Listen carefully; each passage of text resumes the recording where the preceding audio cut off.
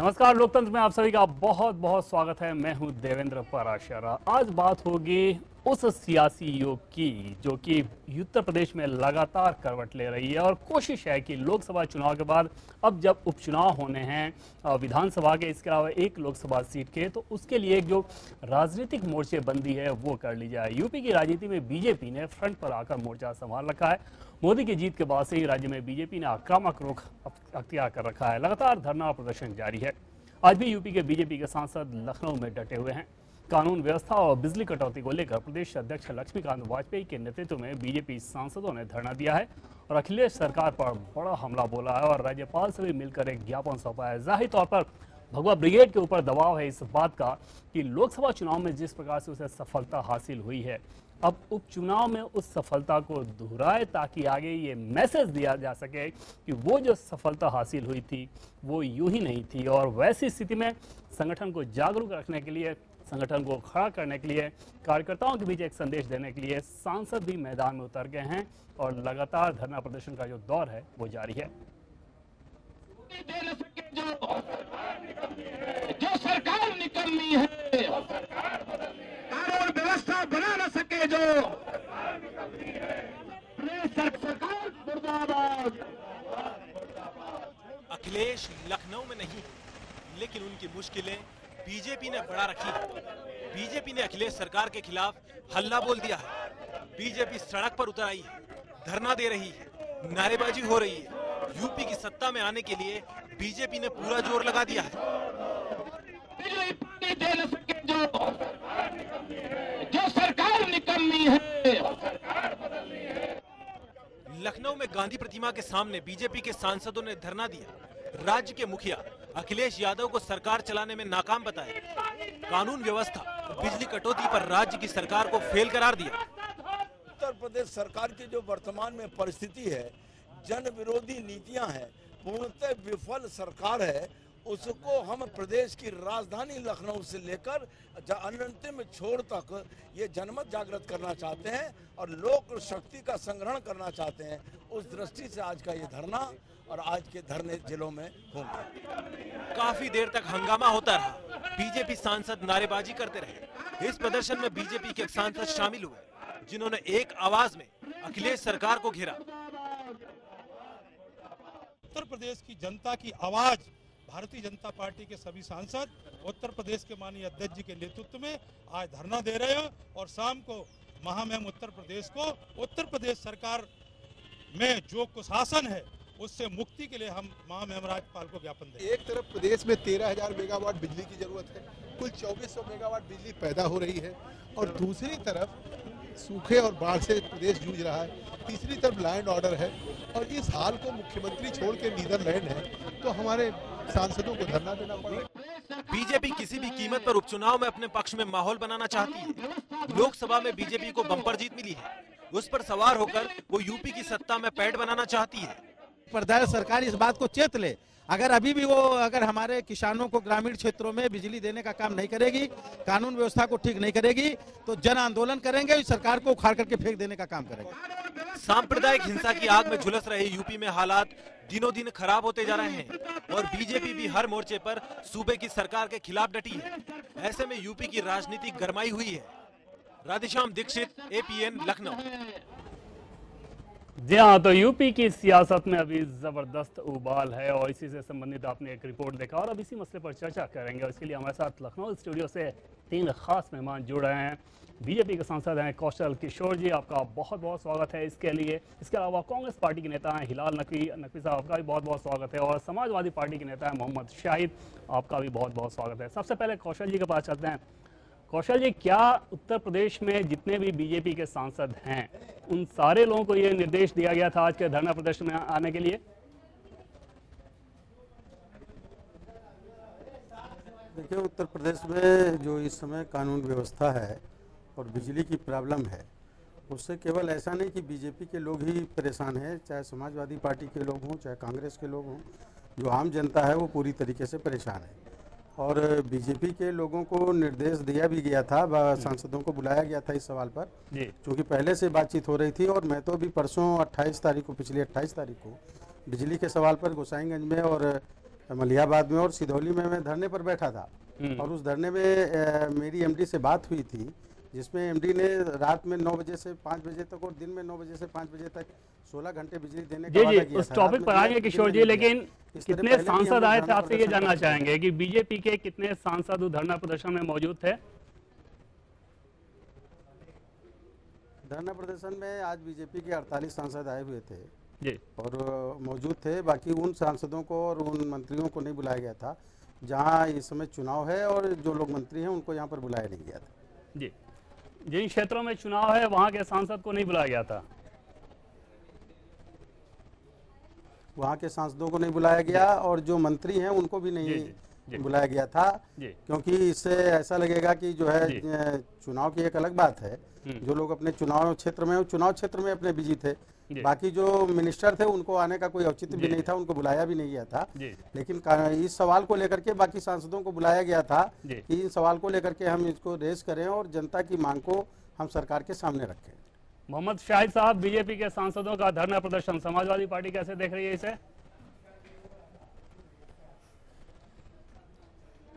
देवेंद्र भाई लोकतंत्र में धरना प्रदर्शन बहुत अच्छी बात है। और सबसे बड़ी चीज़ है कि उस, उस धरना प्रदर्शन का क्या मोटिव है पहले ये पता है। उसका उस धरना प्रदर्शन का अगर कोई सांप्रदायिकता या भेदभाव है तो वो कतई गलत है। आप मांग करिए मगर उस मांग से पहले उस बुनियादी बात पर आइए कि उत्तर प्रदेश को बिजली चाहिए चौदह हज़ार मेगावाट।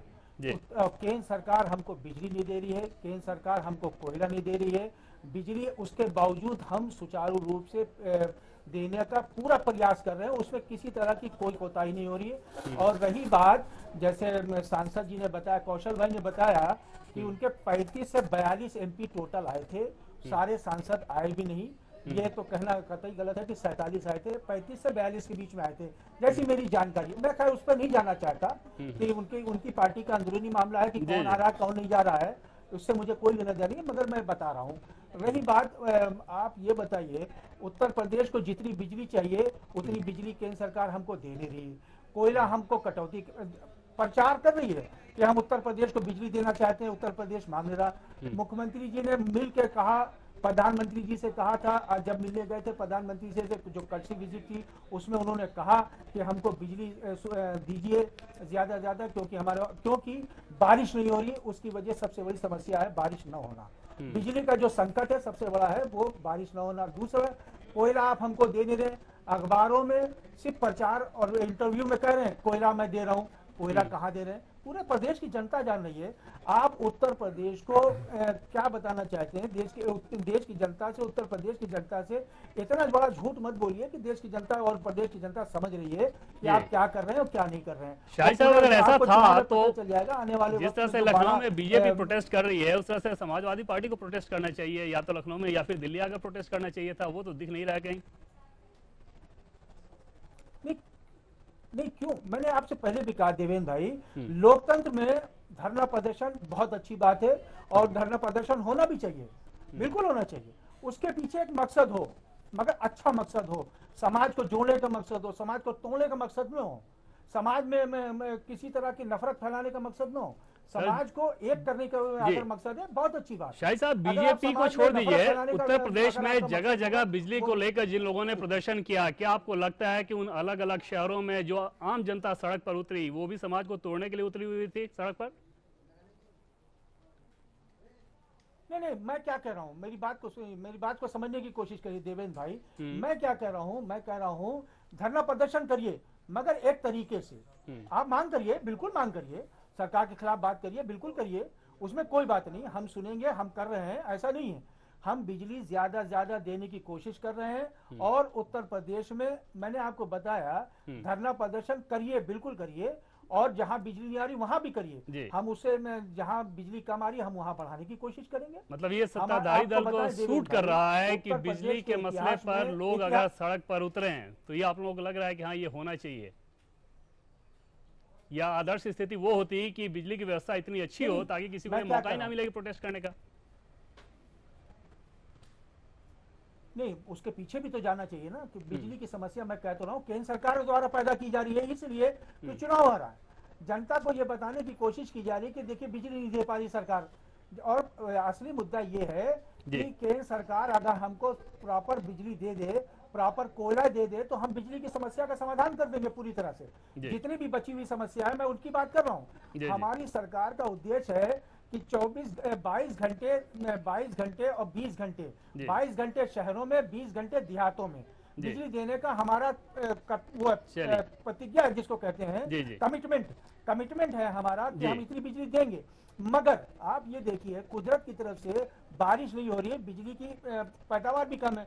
मैं आपको देवेश भाई और बताऊँ। चलिए, नकवी साहब का एक रिएक्शन ले लेते हैं, फिर दोबारा मैं आऊँगा शाही जी आपके पास। किसी भी सरकार ने जी। मेरी बात नहीं मैं नहीं नहीं एक मिनट एक मिनट देवेंद्र भाई। उत्तर प्रदेश के इतिहास में पहली बार किसी सरकार ने बिजली पर ट्रांसमिशन में इतना बड़ा काम आज तक कभी नहीं हुआ जितना पहली बार हमारी सरकार में हुआ।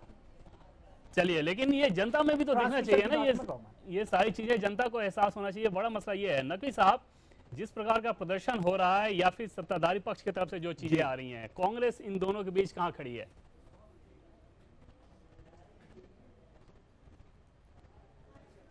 देवेंद्र जी देखिए अगर इस वक्त जो पूरी समस्या है उत्तर प्रदेश के अंदर बिजली की तो इसको दो भागों में हम लोग बांट सकते हैं। जी। एक समस्या वो है जो कि राज्य सरकार के द्वारा उत्पन्न होती है कि राज्य सरकार ने ठीक तरह से जितने भी उनके सब स्टेशन हैं या जितने भी उनके उत्पादक यूनिट्स हैं, उनकी सबकी सही तरह से देखभाल, मरम्मत अगर कराई होती तो निश्चित रूप से काफ़ी हद तक की बिजली की ये जो समस्या है, ये समाप्त हो गई होती।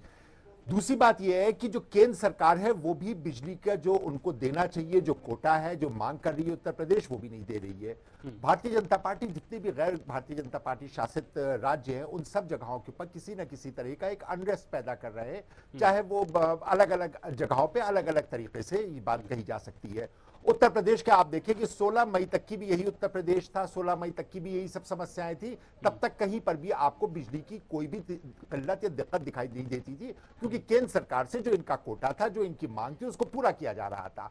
जैसे ही 16 मई गुजरती उसके बाद से आप देखिए कि आज जो है हम सौ दिन होने को आ रहे हैं यहाँ के ऊपर बिजली जो है लगभग समाप्त हो चुकी है। बहुत कम शहरों में बिजली देखने को मिलती है। हाँ अगर आप रामपुर की बात करें तो वहाँ के पर तो दिखाया गया रिपोर्ट में दिखाया गया है कि वहाँ पर तो मवेशी जो है वो भी पंखों के नीचे हैं। मैनपुरी की बात करें वहाँ पर भी बिजली की कोई समस्या नहीं। आजमगढ़ की बात करिए वहाँ पर भी बिजली कोई समस्या गिने चुने कन्नौज है इस तरह के जो शहर है।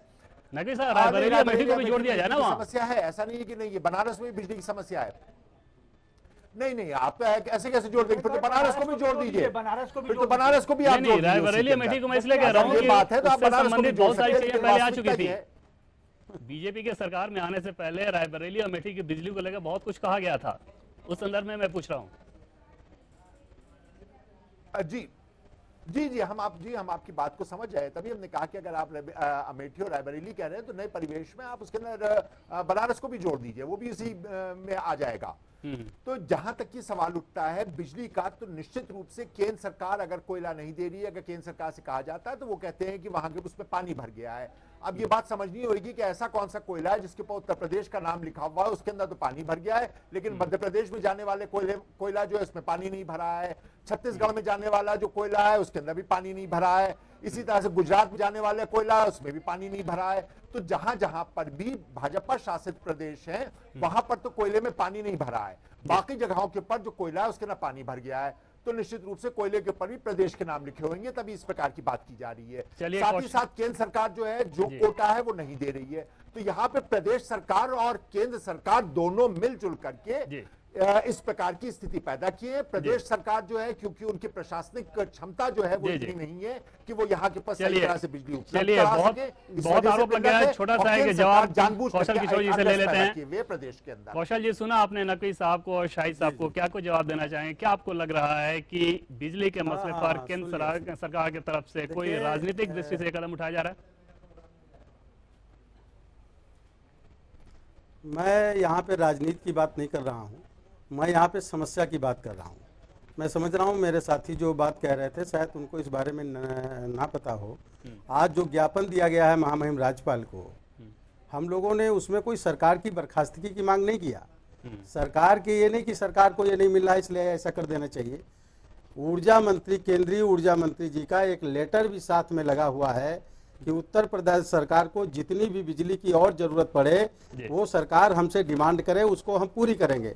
और जितनी उन्होंने डिमांड किया था उससे 12 मेगावाट वाट ज़्यादा बिजली उत्तर प्रदेश सरकार को केंद्र सरकार ने देने का काम किया। सवाल यह है कि 16 मई को काउंटिंग होती है और 17 मई से बिजली यहाँ पर कम हो जाती है और बिजली उस दिन 17 मई से नहीं मिलती है और जब लोग पूछते हैं तो बिजली का एसडीओ बिजली का जेई बिजली का एमडी बिजली के दूसरे अधिकारी ये बात कहते हैं कि अब तो अच्छे दिन आ गए हैं। सरकार बन गई है अच्छे दिन आ गए इसलिए आप जाओ जिनसे अच्छे दिन मिले आ गए उनसे बिजली मांगो जा करके। तो ये शुद्ध तरीके से बदले की वजह से लोगों को बिजली नहीं दी जा रही है। और अ, जहाँ तक के जो बता रहे हैं कि नहीं जैसे केंद्र ये बीजेपी की सरकार बनी वैसे ये शुरू हो गया। तो 17 मई से बिजली नहीं आ रही है। और मोदी जी ने शपथ तो लिया है पच्चीस मई को 26 मई को। तो जब शपथ उन्होंने जब लिया है उसके बाद में तो बिजली तो उससे पहले नहीं आ रही है। अब रहा धरना प्रदर्शन करने के सवाल को लेकर तो मैं तो बिजली के सवालों को लेकर के इसके पहले भी लड़ता रहा हूँ पूरी तरीके से। मैं व्यक्तिगत अपनी बात कर रहा हूँ लड़ता रहा रहा हूँ। और इन सवालों पर बिजली का एक नियम है कानून है उपभोक्ता फोरम का और पूरा उसमें यह है। कि जैसा कि अभी भाई साहिद जी ने बताया कि 20 घंटे बिजली हम ग्रामीण क्षेत्र में देना चाहते हैं। मैं कह रहा हूँ 12 घंटे का रोस्टर है ग्रामीण क्षेत्र का इस समय। उस 12 घंटे में एक नियम बना हुआ है कि अगर 12 घंटे का रोस्टर है और एक दिन में अगर आप दो घंटे बिजली कम देंगे 10 घंटे देंगे तो अगले दिन आपको 14 घंटे बिजली बढ़ा के देनी पड़ेगी। और जितने भी उपभोक्ता। हैं उनको अगर वो बिजली नहीं मिल रही है तो जो दो घंटे एक घंटे बिजली जिस दिन नहीं मिलेगी रोस्टर के मुताबिक उसमें पचास रुपए पर घंटे के हिसाब से कंज्यूमर को बिजली विभाग के द्वारा जुर्माना देना पड़ेगा कंज्यूमर को अदा करना पड़ेगा क्योंकि उस पीरियड में उसका नुकसान हुआ। लेकिन इस सवाल पर जो है कोई बात नहीं होती। कंज्यूमर का कितना नुकसान हो रहा है लोगों को कितना परेशानी हो रही है। पानी बरस नहीं रहा है। पानी से केवल बिजली का सवाल नहीं पानी ना बरसने की वजह नहरों में पानी नहीं है सिंचाई के साधन नहीं है ये तमाम प्रॉब्लम्स आ रही है। तो ऐसी बात नहीं है की तो राजनीतिक मामला है या कोई किसी उद्देश्य के लिए सिर्फ़ सिर्फ़ बिजली के सवाल पर किया गया है इसलिए ध्यान रखना चाहिए। प्रकार की स्थिति और वैसी स्थिति में सियासत इसका फ़ायदा तो उठाती ही है। बिजली में चाहे जितनी भी तीव्रता हो लेकिन अगर उसके सामने, उसको सियासत की चाशनी में लपेट दिया जाए तो ज़ाहिर तौर पर बिजली की अपनी सीमाएँ हो जाती हैं और सियासत ज़्यादा चमकदार नज़र आती है। और इस बीच में तरह तरह के बयान भी आते हैं। गोरखपुर से बीजेपी के सांसद योगी आदित्यनाथ ने एक और विवादित बयान दिया है। इस बार योगी के निशाने पर हैं यूपी के सीएम अखिलेश यादव। योगी ने अखिलेश के नीदरलैंड दौरे पर निशाना साधा है। योगी ने कहा है कि अखिलेश गोबर खरीदने के लिए विदेश गए हैं। इससे पहले भी योगी उत्तर प्रदेश में हुए सभी दंगों के लिए मुसलमानों को जिम्मेदार ठहराते हुए विवादित बयान दे चुके हैं। जिसके बाद से सियासत में घमासान मचा हुआ है। बीजेपी ने योगी आदित्यनाथ की ज़िम्मेदारी बढ़ाते हुए यूपी में 11 सीटों पर होने वाले आगामी उपचुनाव का उन्हें प्रमुख चेहरा बना दिया है। अभी योगी आदित्यनाथ का दंगों पर बयान का विवाद थमा भी नहीं था कि योगी ने असभ्य शब्दों का इस्तेमाल कर यूपी के मुख्यमंत्री अखिलेश यादव पर निशाना तान दिया। आज मैं पढ़ रहा था उत्तर प्रदेश के मुख्यमंत्री नीदरलैंड जा रहे हैं। मैं समझ रहा था कि वहाँ पर जैसे मोदी जी जापान गए हैं, देश की योजना का एक पूरा अपना काका खींच करके लेके गए हैं कि कैसे स्मार्ट सिटी बनेगी, कैसे जापान की तर्ज पर भारत का विकास होगा तो मैंने उत्तर प्रदेश के एक अधिकारी से जानना चाहा कि प्रदेश के मुख्यमंत्री क्यों जा रहे हैं तो पता लगा कि वहाँ गोबर खरीदने के लिए जा रहे है। प्रदेश का मुख्यमंत्री नीदरलैंड इसलिए जा रहा है जिससे वहाँ से गोबर ला सके और फिर कैसे मैनपुरे और इटावा में खेती हो सके इसके बारे में। बड़ी शर्मनाक स्थिति है। अखिलेश यादव सूबे में निवेश बढ़ाने के मंसूबे से हॉलैंड गए हैं। ज़ाहिर सी बात है, इसी महीने की 13 तारीख को 11 विधानसभा सीटों पर हो रहे उपचुनाव के लिए वोट पड़ेंगे और योगी की नज़र इसी पर है, लेकिन उनके विवादित बयान सियासी पारे को गरमा रहे हैं। इससे पहले भी योगी ने अल्पसंख्यकों पर बयान दिया था। हिंसा क्यों होती है? इसके लिए कौन जिम्मेदार होता है? कौन करवाता है? ये तो बहस का मुद्दा है। लेकिन योगी ने सांप्रदायिक हिंसा के लिए एक नया ही फॉर्मूला दिया है। कि 10 से 20 प्रतिशत की आबादी जहाँ मुस्लिम की है, पूरे देश के अंदर या पूरी दुनिया के अंदर, वहाँ सांप्रदायिक झड़पें बहुत ज़्यादा हैं। 20 से 35-40 प्रतिशत तक मुस्लिम आबादी जहाँ पर है, वहाँ भीषण सांप्रदायिक दंगे हैं। योगी ने कहा कि जहाँ 10 से 20 फ़ीसदी अल्पसंख्यक हैं, वहाँ सांप्रदायिक हिंसा की छोटी मोटी घटनाएँ होती हैं। और जहाँ 20 से 35 फ़ीसदी अल्पसंख्यक रहते हैं, वहाँ बड़े सांप्रदायिक दंगे होते हैं। लेकिन जिन इलाकों में अल्पसंख्यकों की आबादी 35 फ़ीसदी से ज़्यादा है, वहाँ गैर मुस्लिमों के लिए कोई जगह नहीं। 35 से 40 प्रतिशत से ऊपर जहाँ मुस्लिम आबादी है, वहाँ हिंदुओं को सामूहिक पलायन करने या गैर मुस्लिमों को सामूहिक पलायन करने या फिर सामूहिक नरसंहार उनका होता है, ये अब तक का ट्रेंड बताया है पूरी पूरे देश का और पूरी दुनिया का। हमें इस सच्चाई को स्वीकार करना होगा। योगी ने हिंसा का ऐसा फॉर्मूला पैदा किया है कि यूपी की सियासत में उबाल आ गया। कांग्रेस समाजवादी पार्टी से लेकर बीएसपी, सभी ने एक सुर में उनके बयान की निंदा की है। यूपी में उपचुनाव होने जा रहे हैं और बीजेपी ने उस उपचुनाव में चुनाव प्रचार का जिम्मा योगी आदित्यनाथ को दिया है, जिसके बाद से ही योगी ने मोर्चा संभाल रखा है। लेकिन विकास की राजनीति करने वाले मोदी के एक सांसद का ये बयान कितना सही है, ये तो आने वाला वक्त ही बताएगा। ब्यूरो रिपोर्ट एपीएन मसला सिर्फ़ सांप्रदायिकता के फॉर्मूले, गोबर या फिर बिजली का नहीं है। लव जिहाद का भी मसला है और लव जिहाद पर सस्ती और ओछी सियासत करने वालों की होड़ सी लग गई है। धर्म परिवर्तन को लेकर बीजेपी नेता योगी आदित्यनाथ ने विवादित तो बयान दिया तो समाजवादी पार्टी इसके लिए बीजेपी पर निशाना साध रही है। नेता अपनी अपनी सियासत के लिए जहरीले बयानों के तीर चला रहे हैं। न तो बीजेपी से ऐसे बयानों से बाज आ रही है और न ही समाजवादी पार्टी संयम बरत रही है।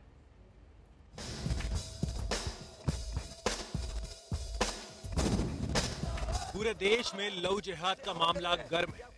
सियासतदान भी इस गर्म मसले पर सियासी रोटियाँ सेकने में लगे हैं। लव जिहाद के नाम पर धार्मिक संगठनों ने भी सक्रियता बढ़ा दी है, जिसके बाद मामला और गर्मा गया है। पिछले कुछ दिनों में कई खबरें आई कि ज़बरदस्ती कुछ लोग धर्म परिवर्तन कर शादियाँ कर रहे हैं, चाहे मेरठ का मामला हो या गाजियाबाद या फिर रांची में एक शूटर के साथ साजिश। ऐसे कई मामले आए जिसमें धर्म परिवर्तन की बात कही गई थी। इसे आप साजिश कहें या संयोग, पहले भी हिंदू मुस्लिम आपस में शादियाँ करते रहे हैं, लेकिन इतनी राजनीति नहीं हुई। अब राजनीति क्यों हो रही है? और इसे लव जिहाद का नाम देकर राजनीति और गर्मा गई है।